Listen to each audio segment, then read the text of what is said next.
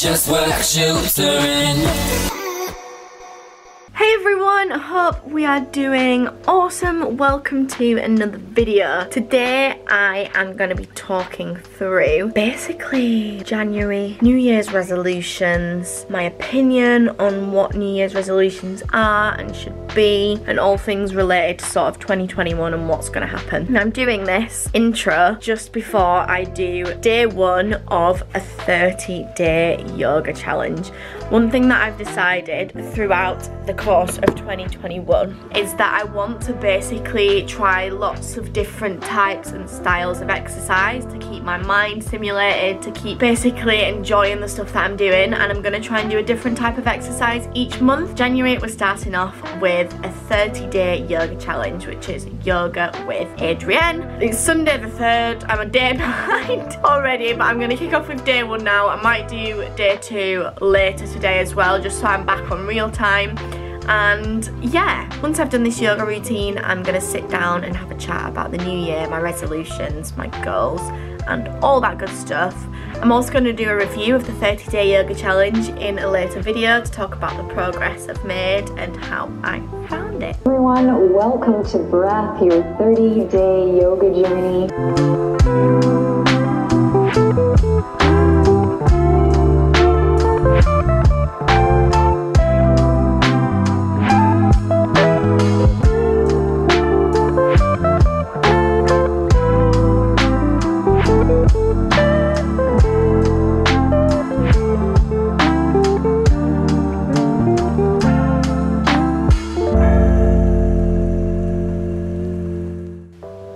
Okay squad, we're back. Oh my gosh, I don't actually think I can speak with this face mask on. My face is getting super tight. Um, I've just been in the shower.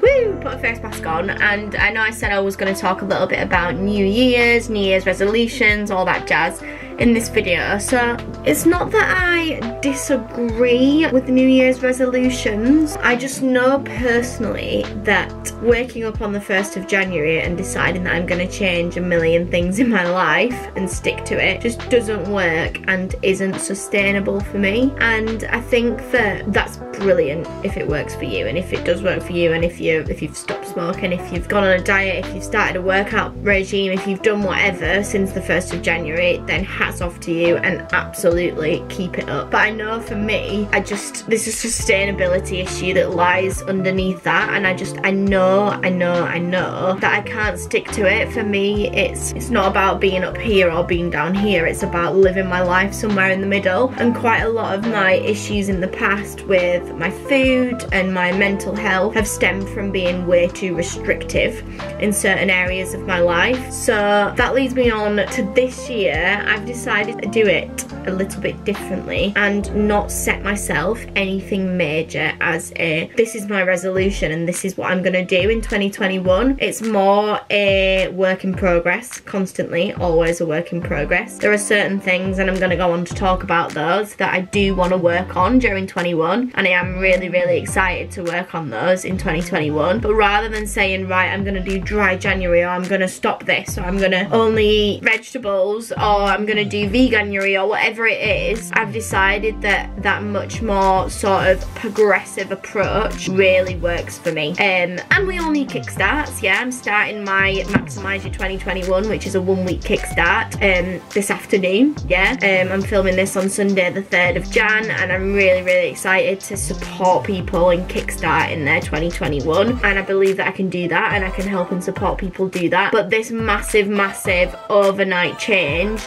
and taking on way too many things at once, I know personally just doesn't work for me. And from experience with a lot of different people, people in my family, my friends, I know that it doesn't work for quite a lot of other people as well. So just to vocalize that, to talk about it, to say it's okay to not set yourself a million different um, New Year's resolutions um, that you know that you're not going to be able to stick to or follow through with, that is absolutely okay. To be a work in progress and to decide at the start of 20 2021 that you do want to do a kickstart you do want to take part in some awesome things that are going on but you also do want to live your life as well is probably where we want to be at yeah definitely where we want to be at. So with my 2021 what are the things that I'm focusing on? First one that I'm focusing on is trying to get a consistent morning routine back in place um, and this is going to be very much supported by the group of 35 of us that are all doing maximize your 21 together um, and I'm going to be doing a video basically summarizing everything we did in maximize 2021 and I cannot flip and wait for it. It's going to be incredible. Um, so getting that consistent morning routine back in place, I think I've noticed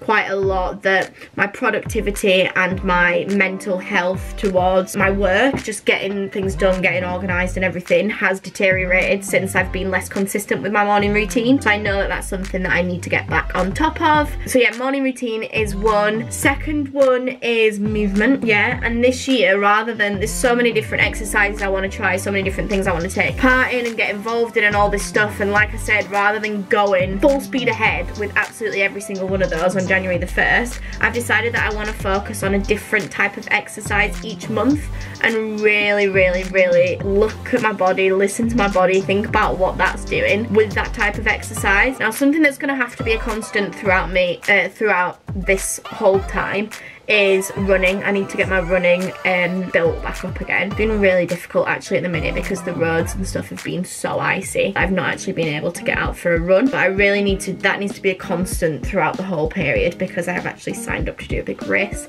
in October. But apart from that, every month I want to focus on a different type of movement, a different type of exercise and just see how my body responds to it. So in January, I've decided to do yoga as well as my running and I'm really, really excited excited to do that. I think it's going to be a good change. It's going to be an interesting change and I am excited to basically throw myself into it and see how my body responds and what it's doing and if it enjoys it and how my flexibility, mobility, strength improves with doing yoga. So morning routines, movement, and then the last thing that I want to just start focusing on progressively throughout 2021 is just taking care of myself. Now a lot of things can fall under under that umbrella. Um, I've got a face mask on. Skincare is something that I want to start taking a bit more seriously. I've really been trying to look after my hair and do some different stuff and use some really nourishing products on my hair over the last couple of weeks. Fueling my body with the right foods again, having some fresh juices, and um, really making sure that I'm getting enough fruit and veg in, all that stuff, um, as well as sleep and resting. So just basically looking after myself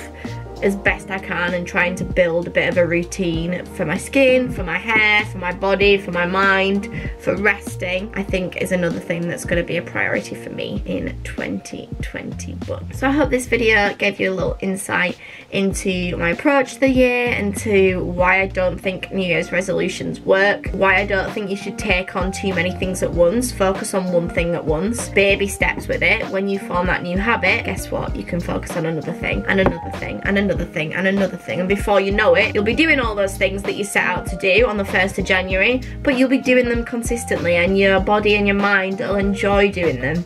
So yeah baby steps take it at your pace focus on progress. Progress progress all the time. It's not about making overnight changes. It's about trusting the process and focusing on progress to becoming the best version of you that you can be. Thanks so much for watching this video. Please hit subscribe on this new channel if you enjoy enjoy these more sort of stripped back Joanna basically talking about what she believes in and what she's doing day to day. Keep smashing it and remember anything is possible if you just work. Bye!